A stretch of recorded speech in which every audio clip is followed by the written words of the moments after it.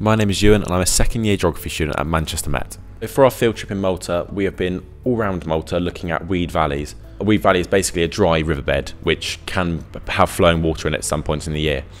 We have been looking at specifically how physical factors impact the wied valleys and how human factors impact the wied valleys. That could be through the different geology, or it could be how humans have started using the land, for example, through irrigation or other recreational activities. The things I enjoy most about studying geography is where geography meets in the middle. So with physical geography, you got say volcanoes, and then I like how humans then interact with those certain areas.